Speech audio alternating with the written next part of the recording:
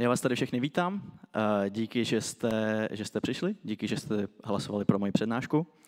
Eh, můj, moje přednáška se jmenuje Kde jsou open source chipy a eh, budeme se teda bavit o tom, proč vůbec něco takového chceme, proč to dává smysl, o tom softwaru, který je proto potřeba, takže nějakých jako algoritmických úlohách velice jako fakt z rychlého vlaku, a těch implementací, které teda v eh, open source EDA světě máme dostupný, na kterých se dá pracovat. A pak o těch výsledcích, což znamená teda, jo, dobrý, pořád tam je, uh, o těch výsledcích, což teda jsou ty skutečné tapeouty, který, kterých bylo těma s tím softwarem dosaženo.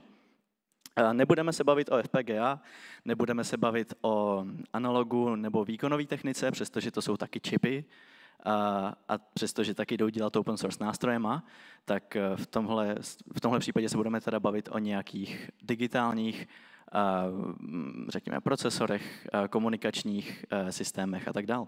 Pokud chcete slajdy, tak jsou na tomhle. Pokud jo, to je asi důležité. Pokud umře eh, prezentace, tak si můžete tady nahodit Nix Shell a zbuildit si to PDF lokálně a paralelně. Nejdřív něco o mně. Já jsem vystudoval Felchwood eh, letos a teďka eh, jsem eh, vývojář na LVM backendu tady v Praze v Hightechu. A k tomuhle tématu jsem se dostal vlastně přes diplomku, kde jsem původně chtěl více pustit do té FPGA stránky věcí, ale zjistil jsem, že ten svět skutečně tedy návrhu čipů je mnohem přístupnější pro open source software a open source metodologie. Tak, jak těžký je začít něco dělat v malém? Když něco nikdy nebylo udělané, tak nejdřív člověk musí začít v malém, ale jak těžký to je? Eh, no, v hardwareu to bývá fakt jako těžký. Tak trochu ekonomiky. V softwaru, ekonomika softwaru asi pro vás nebude nic překvapivého, že vyloženě za jako nějaký desítky tisíc investice můžete založit firmu, můžete začít otravovat investory, můžete začít nahánět eh, zákazníky, opravdu je to hlavně ta lidská práce, hlavně ten, ten, ten, ten human resources kapitál. Uh, a licence, které na to potřebujete, tak bývají vyloženě jako fakt dostupný, nebo je, můžete jít na čistě, jet na čistě open source stackách, které jsou zároveň úplně jako průmyslový standard. Nic nového. Ekonomika toho, když chcete dělat hardware na úrovni teda tištěných spojů, desek, tak eh, to už se, to se pořád dá dělat spoustu, jo, ale už tam jsou opravdu obtíže tím, že pracujete s něčím jako fyzickým, materiálním.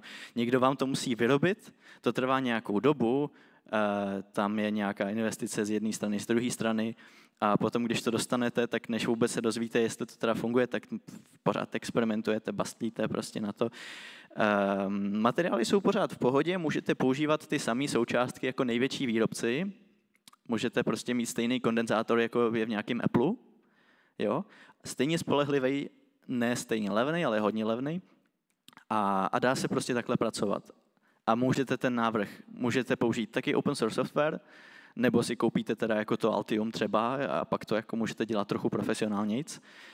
Um, ale můžete pořád jest open source software, můžete to je tady jako příklad open source notebook MNT Reform, plně open source, můžete si eh, tohle že stáhnout, ty, ty, ty Gerbery a nechat si to vyrobit sami.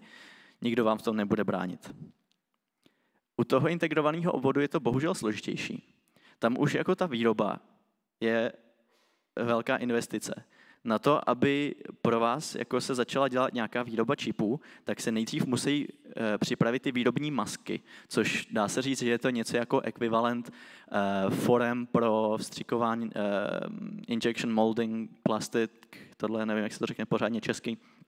Je to velká investice, změnit potom ten návrh, když už si jako je v té produkci, to je strašně těžký, zastavit produkci, straš, strašný problém. Za ty masky dáte teda třeba milion dolarů a za, za, za jeden wafer, ze, ze kterého můžete teda potom nařezat třeba nějaký stovky těch svých čipů, tak zaplatíte 15 tisíc dolarů. Tyhle ty čísla jsou něco, co jsem vygooglil, moc jim nevěřte. Mělo by to být něco relativně nového, ty čísla, ale kdo ví.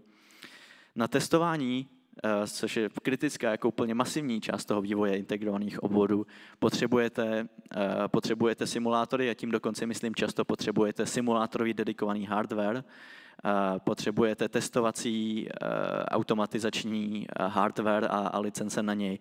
Ehm, potřebujete návrhový software a ten návrhový software typicky stojí přibližně stejně jako plat těch inženýrů, kteří ho používají.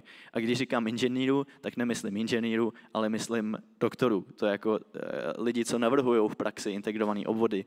Eh, to je, to je něco, co prakticky dělají jenom lidi až potom, co dodělají PhD. Takže to je, to je, to je složitý. To se na to člověk může takhle podívat a říct si, wow, to prostě nejde, to jako odepíšeme ale naštěstí s těma open source přístupama se a trochu snahy se jako dá s těma s touhle zdánlivě jako děsivou ekonomikou lecos udělat.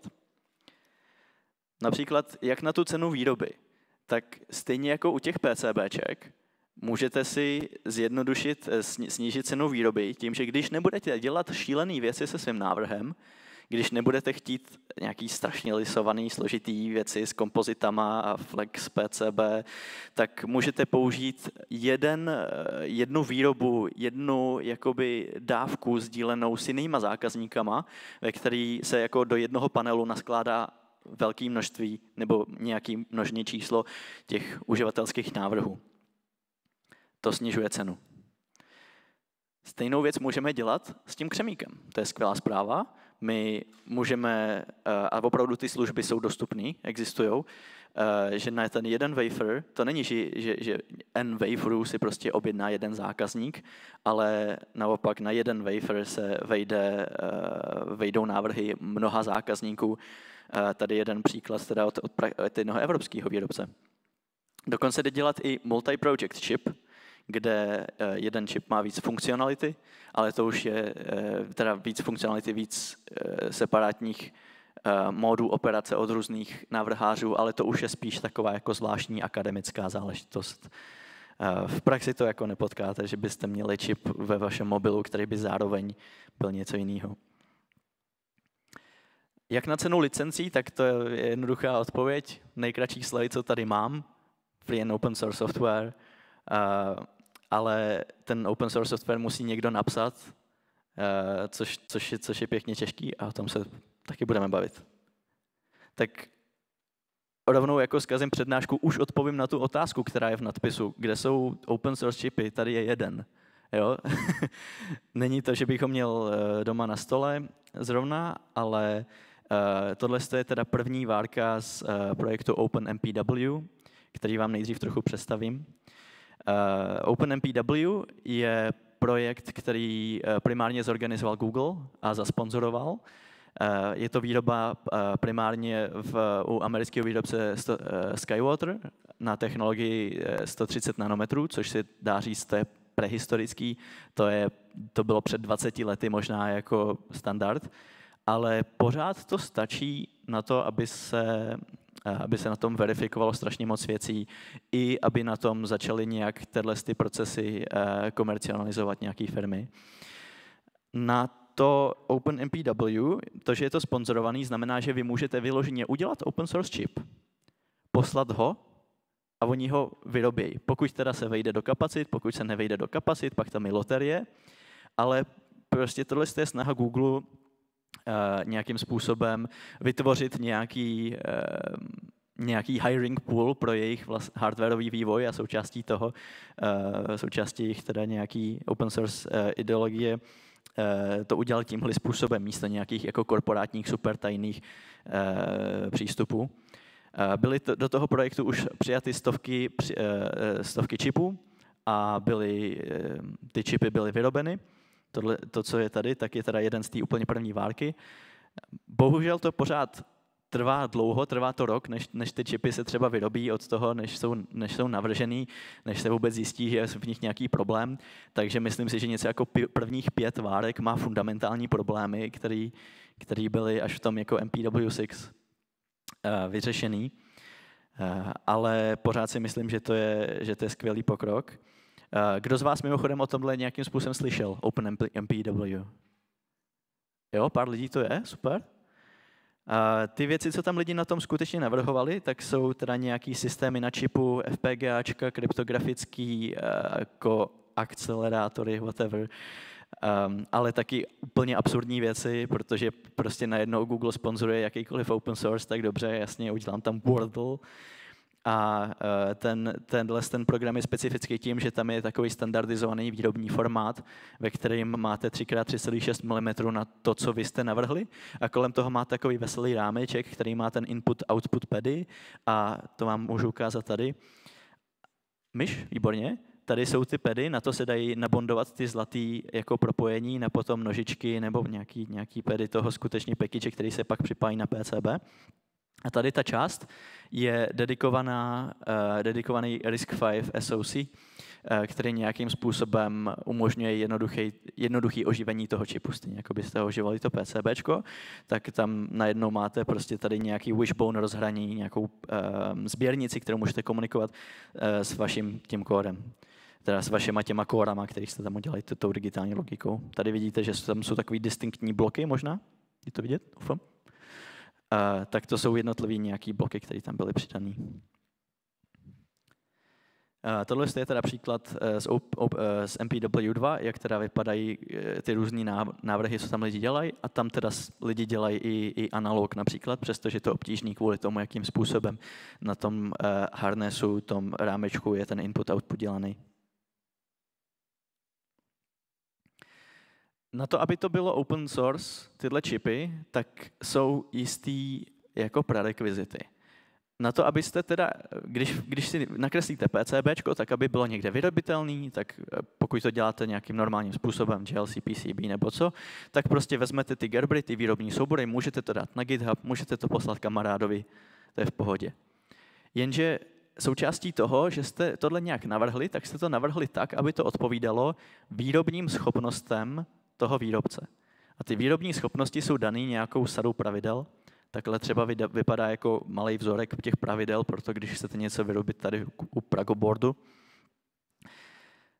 To samý, ale mnohem složitější, bohužel, platí u toho křemíku. Tam jsou nějaké pravidla, které nastavuje ten výrobce podle těch jeho technologických schopností.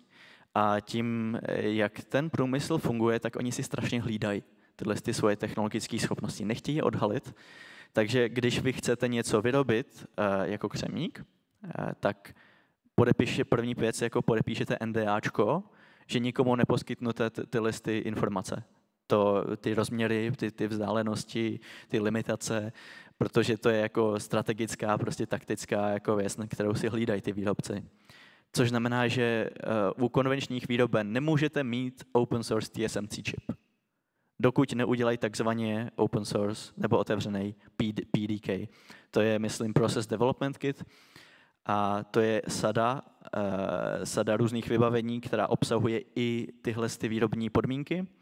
A to, co je specifický teda pro OpenMPW, je to, že tam eh, Google vlastně zaplatil Skywateru, aby ten jejich 130 nanometrový vlastně starý proces, takzvaný legacy node, um, aby to PDK otevřeli a eh, ta dokumentace je plně veřejná, kdokoliv může uh, vzít ty soubory a začít podle nich navrhovat. Druhá část toho PDK je teda to, že když se bavíme o digitální logice, i když nemáte třeba povědomí o, o světě digitální logiky, tak pořád si představíte, nebo někde jste, nevím, aspoň v Minecraftu třeba postavili nějaký logický hradlo. To logické hradlo má nějakou fyzickou realizaci na tom křemíku. A ten je vlastně na tom výrobci toho křemíku, aby poskytnul součástí PDK ty takzvané standardní buňky, ty základní, řekněme, nějakým způsobem pro nějaký cíle uh, optimalizované verze. Je docela jednoduchý udělat invertor, ale není úplně jednoduchý udělat invertor, který je spolehlivý, má nízký statický leakage proudu a takové věci, takže to dává smysl, aby tohle si vlastně hlídal ten výrobce součástí toho PDK, ale samozřejmě pořád člověk má jako možnost si dělat vlastní standardní buňky. Tohle je teda vzorek, to je teda jako invertor, takže vlastně not gate na ten eh, proces Sky 130. Druhá část toho, že ty čipy jsou open source čipy, tak je teda ten software.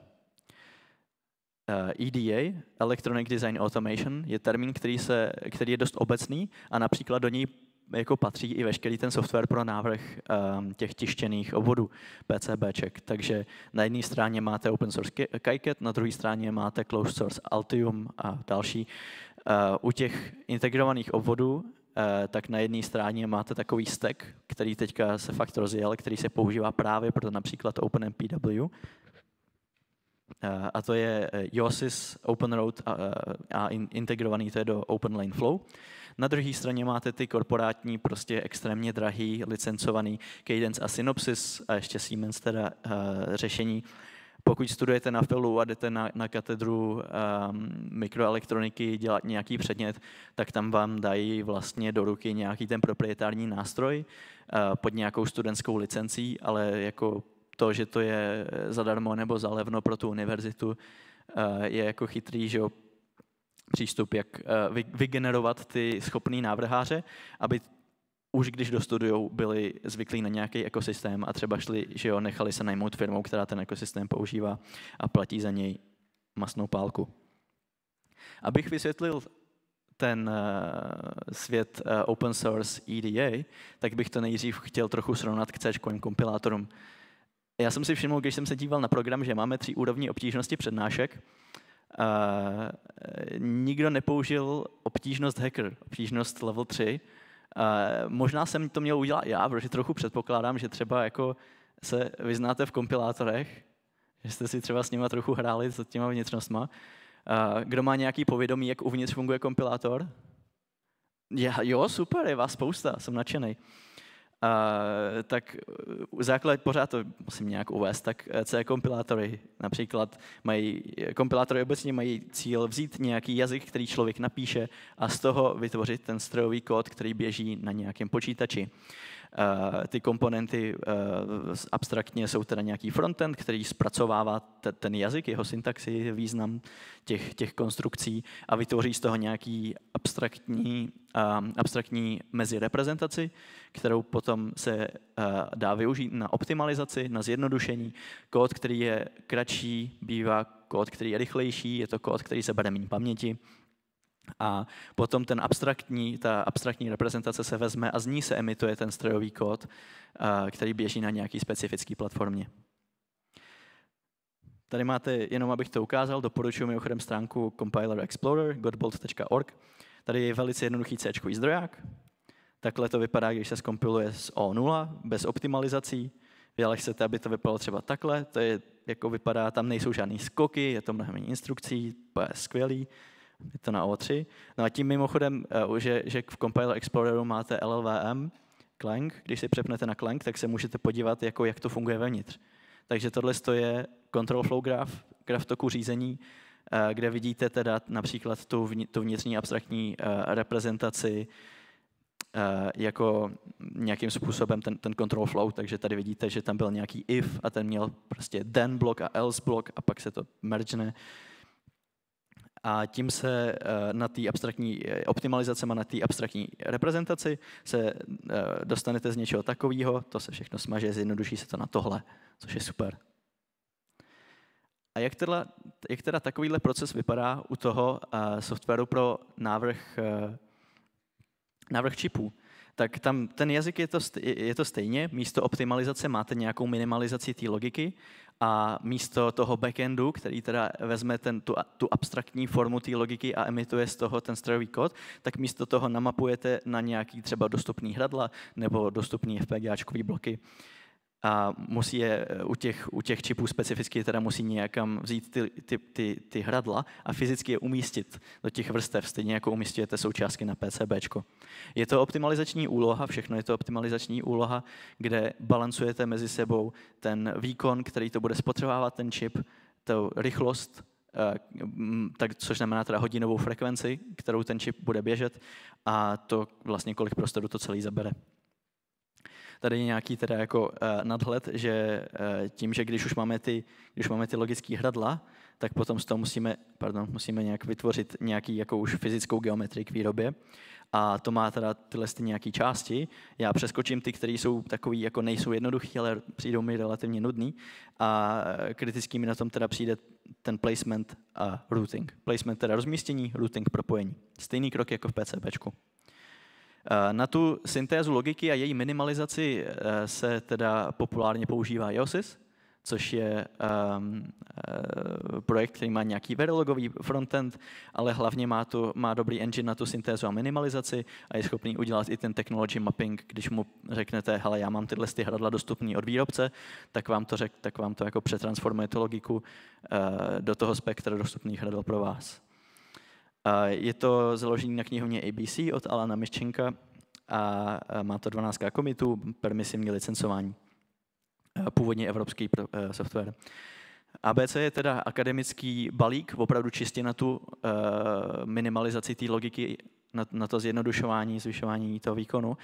A, a autorem je teda Alan Miščenko, legenda. A používá to teda, funguje to primárně na dvou typech datových struktur. End inverter grafy a binární rozhodovací diagramy ve zkratce jenom ukážu, že ten AIG je takový vlastně ten meziformát, podobně jako LLM ER, se dá říct, ale fakt jako takový jasný jako facka bych řekl. Tady jsou fixy, já jsem nadšený z toho, že jsou fixy. Když, máte, když chcete třeba mít A a not B jako funkci, tak to zareprezentujete tak, že to F je and A B a tady ještě přidáte, máte komplementovanou hranu. Takže je to fakt jednoduchý, grafový, jednoduchý grafový formát. Um, potom máme BDD, ty rozho- binární rozhodovací diagramy, který nám umožňují oproti těm uh, end inverter grafům teda udělat velice jako účinnou minimalizaci reprezentací té logiky, což je docela důležité na to, abyste jako nepotřebovali terabyte RAM, když, když eh, pouštíte nějakou logickou syntézu a odpovídajícím způsobem samozřejmě asi máte intuici, že co má nízký paměťový footprint, tak taky běží rychle. Zároveň nám BDD umožňují eh, společný vlastně nebo identický funkce nějakým způsobem unifikovat jejich reprezentaci jejich nevýhoda je ta, že abyste postavili účinný nebo optimálně jako velký ten BDD, tak to je NP úplná úloha, ale potom nad tím můžete dělat veselé dost jako v polynomiálním čase operace. A já bych teda chtěl říct, že, že, ten, e, že, ten, že to BDD je prakticky jenom flowchart, kde uh, máte nějaký node, že jo, nějakou proměnou, jo, a teď máte nějaký yes a máte nějaký no, že jo si znáte flowcharty, není to moc složitější než tohle. Ale samozřejmě ta teorie nad tím je zajímavá. Teď budu, jenom přeskočím sekvenční syntézu kvůli tomu, že jsem byl blbej a zaregistroval jsem si 20, minutový, 20 minutovou přednášku, protože vůbec, jsem vůbec nevěděl, jak, jak, jak takové věci plánovat. Sekvenční syntéza teda funguje nad tím, že každý takový rozumný digitální obvod, který chce být nějak rychlý, tak má specifický stage, nějakou pipeline, kde jsou registry mezi těma, eh, mezi těma, mezi těma stupněma a mezi, nima, mezi těma stupněma jde přesouvat ta logika, aby to celé běželo rychleji. To je sekvenční syntéza. Tím se ale dostáváme teda do té podle mě zajímavé části do toho fyzikální, eh, fyzic, eh, fyzikálního návrhu, fyzického návrhu, respektive physical design automation, to je to pole, kterým se teďka zabýváme. A to open source řešení, který fakt jako vede, je to špička, je OpenRoad.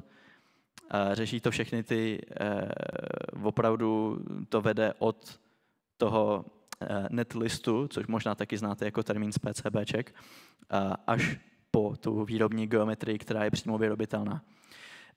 Je to s průmyslovými, průmyslovými softwary srovnatelný eh, projekt, se dá říct, ve, ve své kvalitě. Akorát tam teda chybí hodně věcí, které chtějí ty profesionální návrháři, aby tam byly jako features. Takže to není jako feature complete, ale dosahuje to podobné kvality výsledků ohledně toho, jak to jako kolik prostoru to potřebujete třeba, abyste daný, po, um, daný čip navrhli.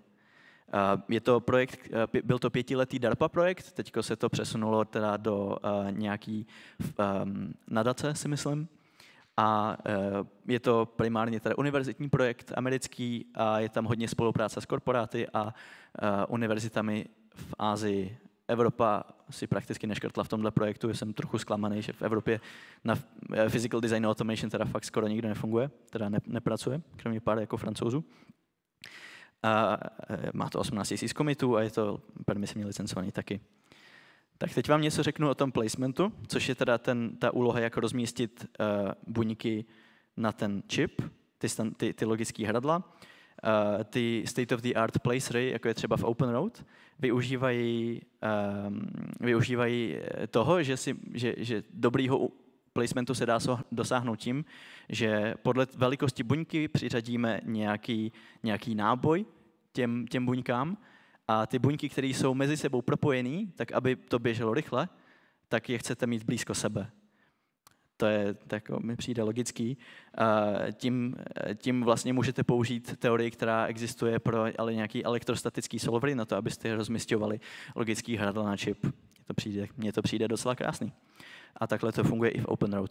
Existují samozřejmě ale i alternativní metody, které nedosahují tak kvalitních výsledků. Tohle je example, když půjdete, je dobře, že jdete ven, když, když půjdete ven a podíváte se na, na, eh, eh, na doktora Píšu na jeho stůl, tak tam najdete, eh, najdete tam nějaké informace o jeho projektu CTU Can FDIP, což je teda komunikační periferie vlastně pro nějaký mikrokontrolery by mohla být využitá na komunikaci přes sběrnici Ken. Já jsem ji součástí diplomky použil jako takového pokusného králíčka. Um, bohužel jsem eh, to nemohl submitnout do OpenMPW, protože Ken není open source protokol. Musel bych platit nějaký výpalný boši. Tak takhle vypadá nějaký ten čip uh, s, s, tí, s tou logikou toho Ken jádra, uh, předtím, než, se, než ten placement pořádně za, začne. Takhle vypadá uprostřed, bohužel nemám animaci, přestože animace mám.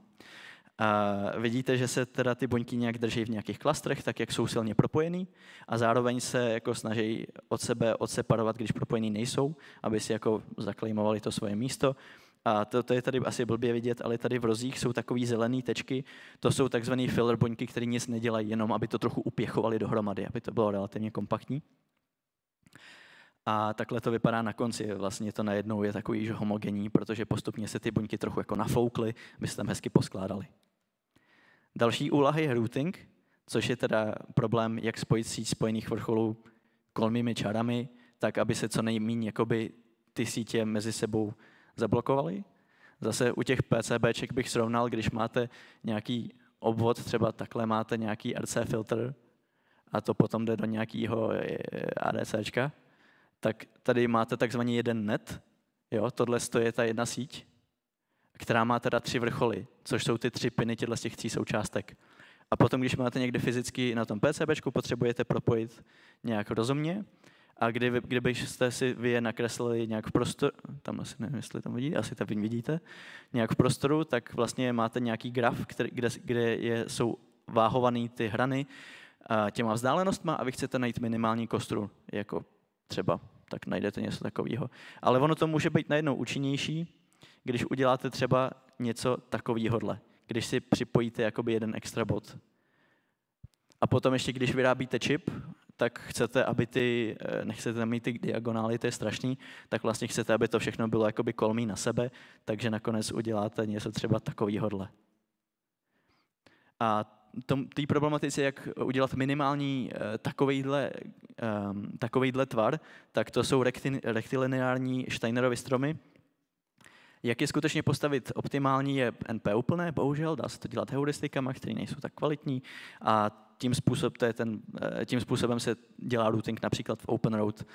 A další problém je ten, že, že je možný, že když ka, na každý net se díváte separátně, tak najednou uděláte tohle a taky zjistíte, že na té samé vrstvě máte naplánovaný, že po se musíte dostat sem, tak tady máte najednou kolizi na té samé vrstvě, tak musíte tohle vzít a takzvaně vytrhnout, rip up a, a udělat reroute, přeplánovat to.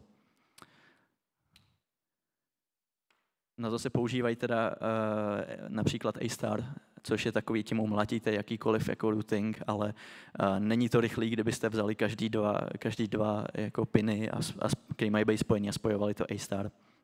Taky ten A-Star může být flexibilnější na to, že může víc respektovat uh, ty podmínky toho, co je vůbec vyrobitelný. Takhle vypadá třeba, teda jako jeden můj jednodušší návrh. Uh, jenom jedna vrstva, uh, když je už narutovaný doufám, že to je trochu vidět, jo, výborně, tak tady uh, u toho malého čipu, co jsem udělal, Cheese the Beat, tak tak tady vidíte horizontální, vertikální, vertikální, horizontální. Je to, je to prostě rektilionální spojení, tady, tady vrchol, tady vrchol, tady vrchol. Nejspíš to jsou hodiny, nebo to je resetovací signál, vzhledem k tomu, že propuje tolik bodů naraz. To je takový zvláštní jako případ.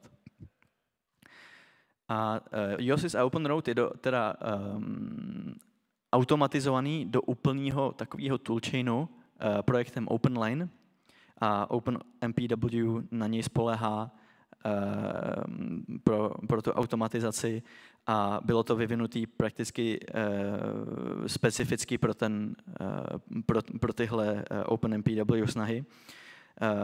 Omlouvám se, že je to trochu malý, ale tady na začátku je teda RTL syntéza, což je teda Yosis plus ABC tam napsáno. Tenhle ten zelený blob je několik teda uh, úloh, který, splňuje, který dělá ten Open Road a kolem toho jsou potom různé jako kontroly, kvality, uh, Uh, nějaký inzerce, diod, uh, různý technologické detaily, které nebudu, který nebudu popisovat. Je to, taky, je to taky open source projekt permisivně licencovaný, má 1800 komitů. A teď bych vám chtěl ukázat, eh, z čeho jsem docela nadšený.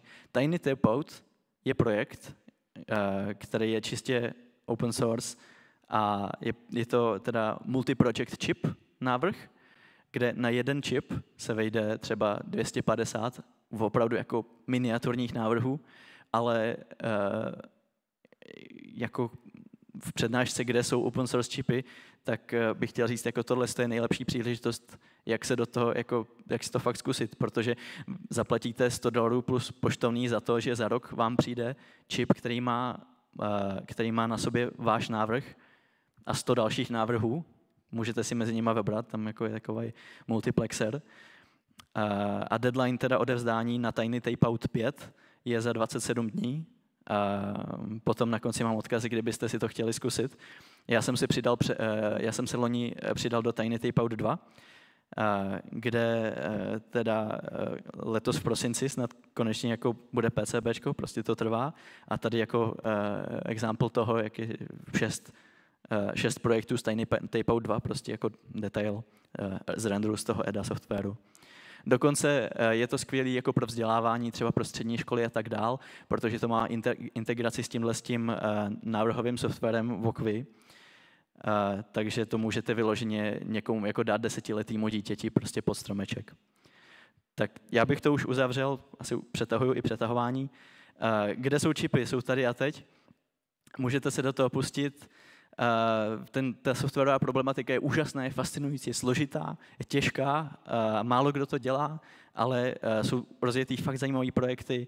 Uh, ale například LLVM prostě má násobně víc komitů, prostě tam opravdu ten průmysl se nějakým způsobem se jim podařilo se sejít k tomu, aby, aby to postavili. Eh, je to, je to plný příležitostí teda pro bastlení, výzkum, podnikání a za mě je docela důležité si uvědomit pro to vzdělávání, kde bychom tady mohli jako zahodit ty cadence a synopsis a místo toho navrhovat ty věci, které se nikdy nevyrobí na těch předmětech, na těchto z těch nástrojích, tak bych byl nadšený, protože potom by lidi mohli víc tomu rozumět té technice, mohli by se podívat že jo, do toho zdrojáku, proč to funguje, jak to funguje, proč to selhává. A pokud můžete, tak to prosím zkuste. A jak se toho, do toho teda pustit? Tak doporučuji YouTube kanál Zero to ASIC Course, což je teda, jsou extra materiály k placenému kurzu Zero to ASIC. Potom spoustu informací můžete se ptát opravdu těch expertů, kteří eh, dělají na těchto těch open source projektech na Slacku. Eh, Tiny Tapeout eh, má webové stránky samozřejmě, na, na vnitřnosti ohledně Josisu se můžete zeptat na, na tomhle tom, na, na Discordu na tomhle tom odkazu. A nejlepší je samozřejmě, když si s tím začnete hrát, budete psát pull requesty nebo budete sponzorovat ty lidi, kteří dělají věci, které se vám líbí. Já vám děkuji za pozvání, tohle je můj mastodon, až dostanu Tiny Tapeout zpátky svůj čip, tak uh, rozhodně tam jako budou fotky, videa, uh, do té doby tam budou prakticky jenom jednou týdně třeba fotka mý kočky, což si myslím taky, že stojí za to. Uh, ještě jednou díky, že, že, že jste si vybrali tohle, tohle přednášku, že jste si z toho něco odnesli a přeju vám dobrou chuť k obědu.